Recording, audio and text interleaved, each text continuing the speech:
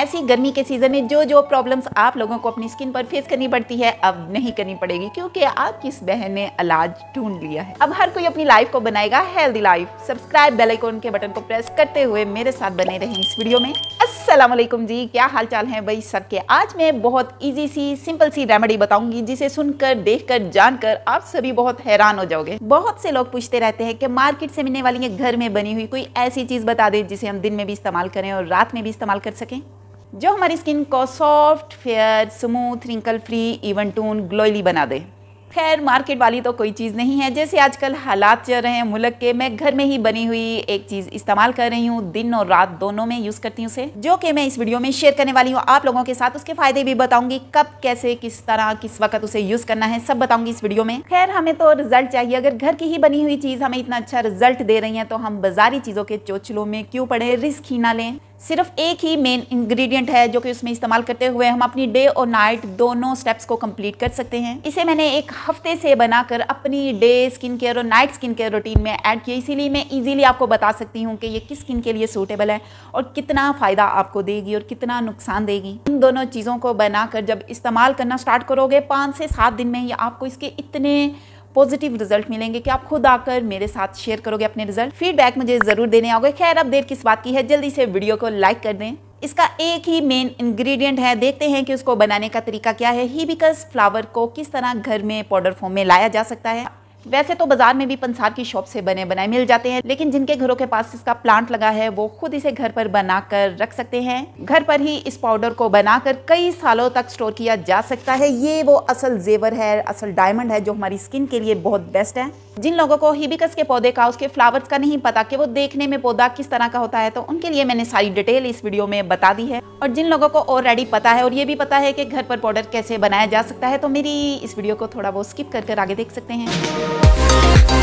Hibiscus का plant इस तरह का होता है। इस टाइप के उसके पत्ते होते हैं। मैं साथ में पिक्चर भी अटैच कर रही हूँ क्लियरली लेके ताकि आप लोगों को इसकी पहचान अच्छे से पता चले। जब मुझे भी पता नहीं होता था तो मैंने जस्ट इसकी पत्तियों की पहचान रखी हुई थी। वहीं से देखकर मैं पहचान लेती थी कि ये गुले गुलहड़ है। दरअसल उर्दू में इसे गुले गुलहड़ कहा जाता है और पिंक कलर के फूल इस पर लगते हैं। हिबिकस फ्लावर्स की लाइफ सिर्फ़ दो दिन होती है। जब तीसरा दिन आता है तो ये खुद ही सूख कर झड़ जाते हैं। तो इसलिए बेहतर ये है कि कहीं भी गुले गुलहड़ का प्लांट देखा जाए तो इसके फूलों को तोड़कर अपने पास सेव कर लिया जाए।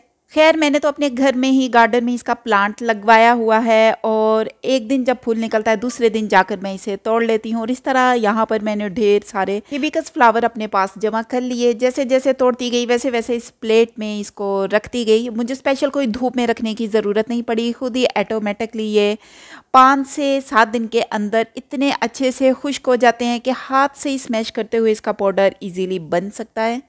अब यहाँ पर ये सारे के सारे फूल बहुत ही अच्छे से खुश्क हो चुके हैं और मैं नीचे से इनके पत्ते निकाल दूँगी, इसकी अच्छे से सफ़ाई कर लूँगी। अब इन सारे सूखे हुए फूलों को मैं ब्लेंड आउट कर लूँगी और ब्लेंड आउट करने के बाद इनको एक दफ़ा फिर से मैं छान लूँगी, क्योंकि मुझे बहुत ही फाइन और स्मूथ सा पाउडर चाहिए हिबिकस का। और इस तरह फाइन सा पाउडर बनकर रेडी हो चुका है। जैसा कि मुझे चाहिए था, किसी भी एयर टाइट कंटेनर में मैं इसे सेव करके रख लूँगी। सारे का सारा इसमें ट्रांसफ़र कर दूँगी। अब अगर मैं हिबिकस फ्लावर की शेल्फ लाइफ बताऊँ तो ये लाइफ टाइम है। सारी ज़िंदगी भी अगर आपके पास पड़ा भी रहे ना तो ख़राब नहीं होगा।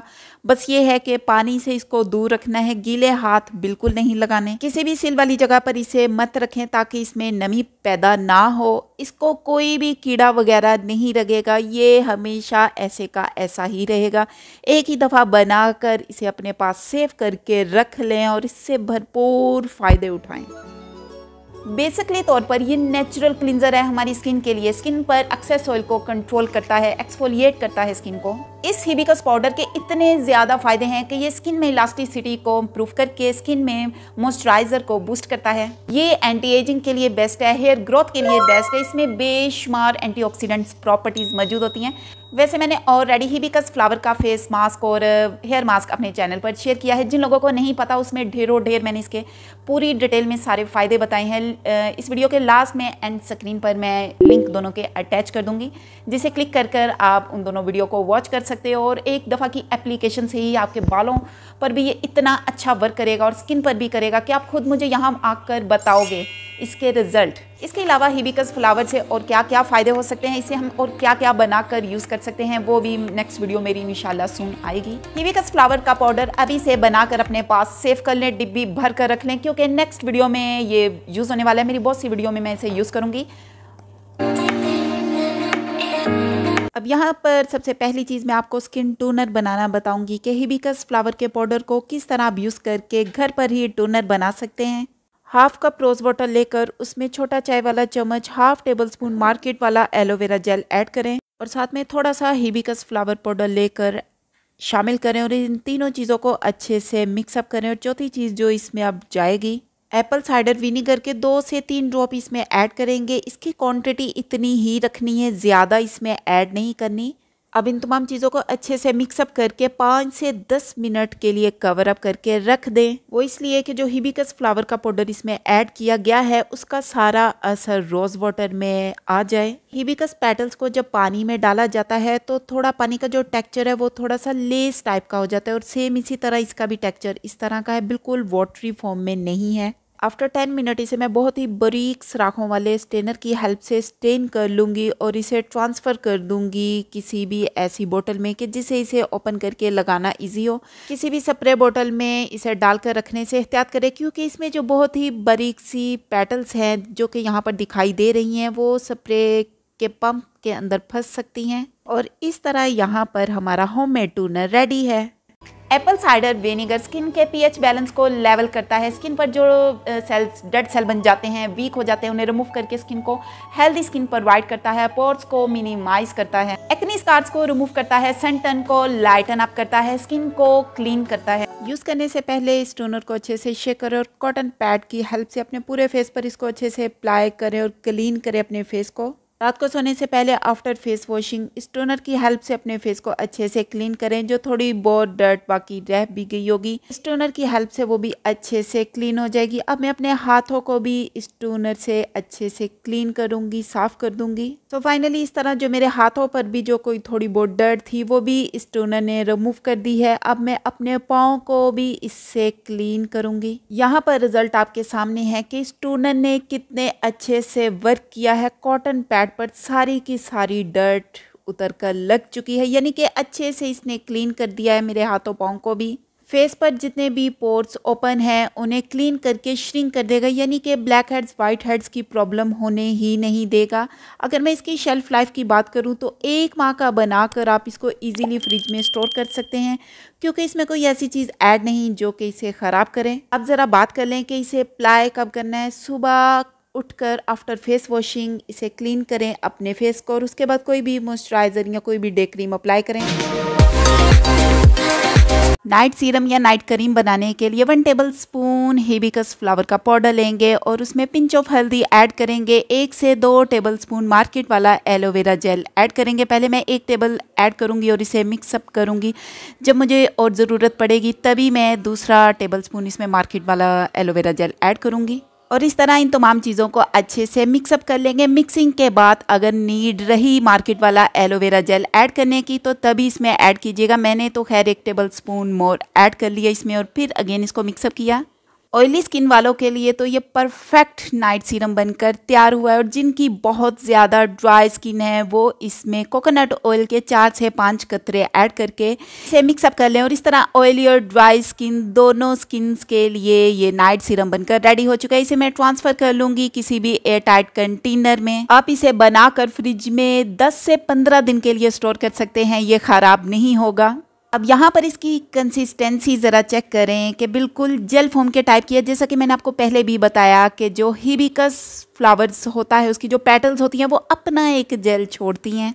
अब बात कर लेते हैं इसकी एप्लीकेशन की कि इसे अप्लाई कैसे करना है। रात को आफ्टर फेस वॉशिंग टूनर से अपने फेस को क्लीन करना है और उसके बाद ये नाइट जेल लेकर नाइट सीरम लेकर अपने फेस पर अप्लाई करें। बिल्कुल सॉफ्टली फिंगर टिप्स की हेल्प से लाइट सा मसाज करते हुए इसे अपनी स्किन के अंदर जज़ब करें। ये कुछ ही सेकंड में स्किन में बहुत अच्छे से ऑब्ज़र्व हो जाएगा। बिल्कुल पिंकिश लुक देगा आपके फेस को। सुबह जैसे ही आप उठोगे तो आपका फेस आपको खुद ग्लोइली पिंकिश और फेयर टून में नज़र आएगा। इसे अप्लाई करने के बाद और कोई भी चीज़ फेस पर लगाने की ज़रूरत नहीं है। रात में इसे अप्लाई करें और लगा कर सो जाएँ और यहाँ पर देख सकते हैं कि ज़रा भी चिपचिपाहट भी नहीं है फेस पर। मतलब कि ये स्किन में इतने अच्छे से जज़ब हो गया है कि एक तो लगाकर कोई स्किन पर खचाव भी नहीं है। स्किन बिल्कुल सॉफ्ट सॉफ्ट है और लगा हुआ भी नज़र नहीं आ रहा। सिर्फ़ एक पिंकिश पिंकिश लुक आ रहा है देखने में। लाइट ऑफ़ की वजह से यहाँ पर क्लियरली नज़र नहीं आ रहा था कि मेरी स्किन इतनी पिंकिश लुक दे रही थी।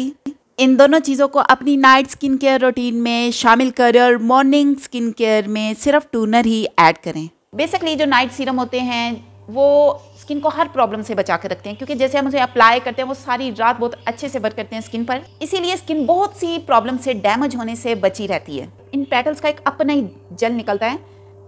ये देखें। स्किन के लिए ये सीरम इतना बेनिफिशियल है कि जैसे ही आप इसे अपने स्किन पर अप्लाई करोगे, ये ट्रीट करेगा आपकी स्किन पर होने वाली सारी प्रॉब्लम्स को। स्किन पर जो brown spots dark black spots पड़ जाते हैं, उन्हें रिमूव अप करके स्किन को क्लियर और क्लीन बनाएगा। स्किन को टाइटन अप करेगा रिंकल फ्री बनाएगा ग्लोइली बनाएगा। इसके इतने फ़ायदे हैं कि मैं बता ही नहीं सकती। अगर डे में आप कर रहे हो तो डे में भी सिर्फ़ ये सीरम लगाएँ, पहले टूनर लगाएँ, इसके बाद ये सीरम लगाएँ। अगर बाहर कहीं जा रहे हो, तभी सन ब्लॉक अप्लाई करें। अदरवाइज़ इन दोनों चीज़ों के लगाने के बाद सन ब्लॉक की भी नीड बाकी नहीं रहेगी घर में रहते हुए। बाहर जाते हुए तो सन ब्लॉक मस्ट है। अगर बजट फ्रेंडली रहते हुए आप कोई चीज़ बनाना चाहते हो तो एक ही दफ़ा में ये पाउडर बना कर रख लो। सिर्फ़ एक इन्ग्रीडियंट से आप इन दो चीज़ों को रेडी कर सकते हो। हिबिकस फ्लावर का पाउडर अभी से बनाकर अपने पास सेव कर लें, क्योंकि नेक्स्ट मेरी बहुत सी वीडियो में ये यूज़ होने वाला है, और इससे फ़ायदा भी मिलने वाला है आपको। अगर आप लोग सोच रहे हो कि ये बोलती जा रही है, बड़े बड़े बड़े बड़े हैं, आप लोगों के लिए बोल रही हूँ अदरवाइज़ तो मैं लिख कर भी बता सकती हूँ, लेकिन लिखा हुआ भी फिर समझ में नहीं आता, फिर मांगते हैं, हमें पूरी डिटेल दें। अब उसके लिए बड़ा बड़ा करना तो ज़रूरी है ना। सिर्फ़ आप लोगों के लिए बोल रही हूँ कि अपनी स्किन केयर कर लो कर लो कर लो। नहीं तो मुझे क्या किसी पागल कुत्ते ने काटा है जो मैं बड़ा बड़ा बड़ा, बड़ू भी करूँ? इसी आप लोग अंदाज़ा लगा लें कि कितना प्यार मैं आप लोगों से करती हूँ, लेकिन उसके बदले में आप लोग इतना प्यार मुझे शो नहीं करवाते तो जिसे फिर दिल टूट जाता है, ठा हो जाता है। बोर तो नहीं हो रहे आप लोग। मेरी हमेशा ये कोशिश होती है कि मैं वीडियो इतनी बनाऊँ जितनी इंसान इजीली देख ले और बोर ना हो। अगर बोर हो रहे हैं तो चलें जी, ठीक है, फिर चलते हैं। खैर, मिलते हैं नेक्स्ट वीडियो में। अपनी दुआ में याद रखिएगा, अपना बहुत सारा ख्याल रखिएगा। अल्लाह हाफिज़।